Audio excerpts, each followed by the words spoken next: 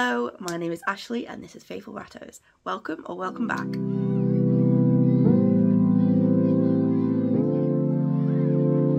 So in today's video I'm going to be talking about agouti and it's going to be part of my rat genetics and varieties series here on my channel.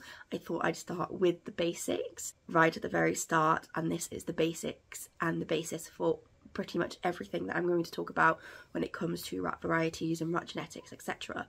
So I'm editing this video now and I had to restart the video a lot of times because uh, things just kept going wrong and I forgot to mention that agouti isn't just a thing in rats, it's a thing in lots of different species. I'll show you on the screen, rabbits, guinea pigs, mice, like literally so many species of animal. The wild type, as it's called, is agouti and is the same like principle in those species. It's not just rats that this applies to. I'm not totally sure on how those genetics works with all those different species, especially when domesticated, but rat isn't the only species that has the agouti colouring.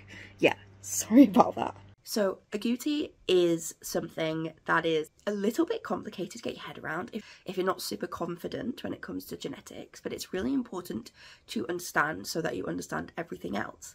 So I'm going to define a couple of genetics terms and so we can get into the video. So when it comes to genetics, there are a couple of things that you need to know. One of them meaning allele, and allele is a copy of a gene. So when you are fertilized, when the egg that becomes you is fertilized, and this goes for every single species, you get one copy of the gene from your mum and one copy of the gene from your dad. And they are both alleles, and the two alleles together make up what you're going to look like. And we're going to talk more about that in a second. So every allele will have a partner, and if it doesn't, then that is a problem. then we're going to talk about loci. So a lot of different genes are on the same area of the genetic code and a lot of different genes on the same loci can be alleles of each other if that makes sense. So for example, agouti and non-agouti are on the agouti loci, locus, because loci is the plural. Then what else? Then Punnett squares. We I will show up a Punnett square on the screen and a Punnett square is showing you about inheritance and how to predict what might come up in in letters. And I think that's all the terms that we need for now. If there's anything else, I'll try to explain it as we go along. So, at the agouti look, there are two options of allele that you can be passed on from your parents. And I'm now talking to you as if you're a rat fetus waiting to be born. One of them is the agouti allele, the dominant allele. Agouti is dominant, and that is denoted in written down sources with a capital A. Or you could have a copy of the non-agouti allele, which is a little lowercase a, and this is common when you're talking about genetics in every single scenario. The dominant alleles will be labelled with a capital letter and the non-dominant alleles, the recessive alleles or the codominant alleles will be denoted with a lowercase letter. So the non-agouti gene is non-agouti allele is denoted with a lowercase a. And so when we're talking about inheritance, if I throw up a Punnett square up here, if you have two copies of the agouti gene, two copies of big A, if you have big A, big A, you're going to be agouti. If you have big A, little a, or little a, big A, you will be a agouti too, because it's a dominant gene.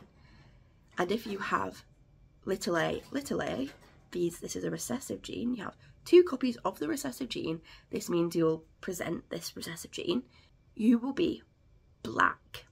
So the absence of an agouti gene creates black. And when we talk about rat varieties, every single rat variety that we have is either agouti based or black based. Some people call the black based rats self, and this is a little bit confusing because I think in some places self can also refer to a non-marked rat, an unmarked rat, so something that isn't hooded or Essex or roan or anything.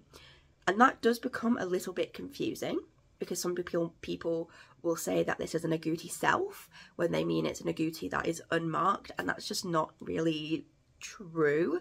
So let's talk a little bit about what an agouti rat actually looks like. So an agouti rat has this brownish black coat that is heathered, which is I, I can't describe I can't think of another word other than heathered because that is what that is called. It is sort of dimensional. There's a lot of dimension to an agouti coat, especially a really good agouti coat.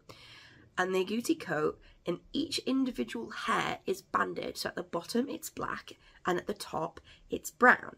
And this is what the gene is telling the hair to do, is telling it to be banded. So the basic agouti will have black and brown, but when it comes to the agouti gene being present with other other genes to make other varieties, the banded colours can look differently.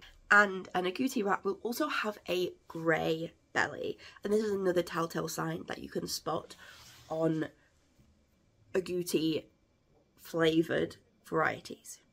So you know now all about the agouti gene. It is a dominant gene and it can be affected and flavoured with other recessive, what we call dilute genes. And I'll talk about the dilute genes and other things in a later video.